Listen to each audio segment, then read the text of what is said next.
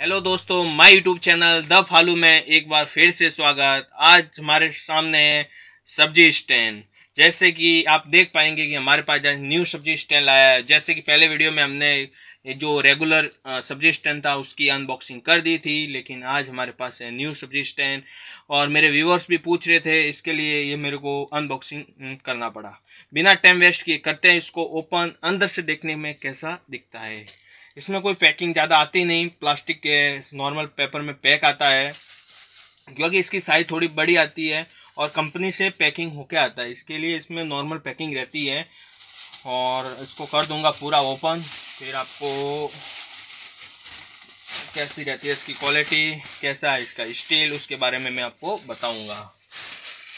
जो मैंने ये परचेज़ किया है काफ़ी क्वालिटी अच्छी है, क्योंकि ये मैं काफ़ी टाइम से सेलिंग करता हूँ तो मेरे को पता है इसकी क्वालिटी काफ़ी अच्छी आती है। इसमें कस्टमर को कोई प्रॉब्लम आएगी नहीं।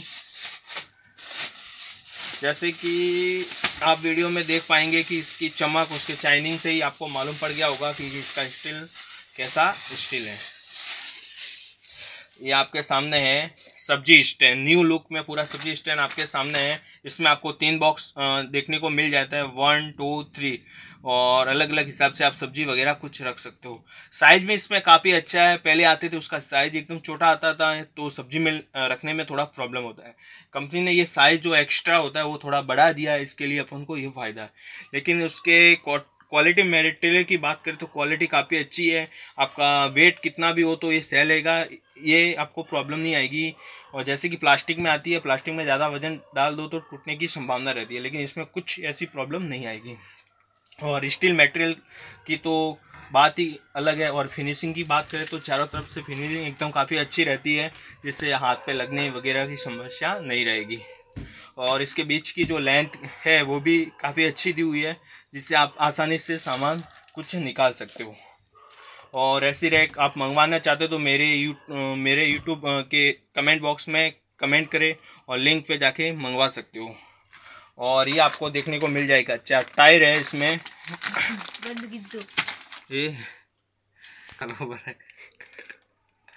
बोर्ड काफ़ी क्वालिटी अच्छी देखने को मिल जाती है और उसमें आपको चार टायर है। जैसे कि आप वीडियो में देख पाएँगे कि ये टायर नीचे फिटिंग होते हैं। यहाँ आप फिटिंग कर सकते हो चारों टायर को चारों बाजू से फिटिंग करते हो। इसमें फिटिंग काफ़ी नॉर्मल रहती है, क्योंकि ये पैकेट को खोल के डायरेक्ट घुसाने का रहता है, इसमें कुछ बताने जैसा है ही नहीं।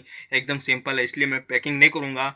और टायर इसके लिए दिए क्योंकि आप एक जगह से दूसरी जगह लेके जाना है तो इस पर आपको पकड़ के वेट ज़्यादा होता तो पकड़ तो नहीं सकते तो आप हल्का सा मुँह, आप मुँह या धक्का लगा के एक जगह से दूसरी जगह ले जा सकते हो।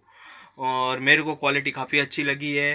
अगर आपको भी ये क्वालिटी अच्छी लगती है तो कमेंट बॉक्स में कमेंट करें। Thank you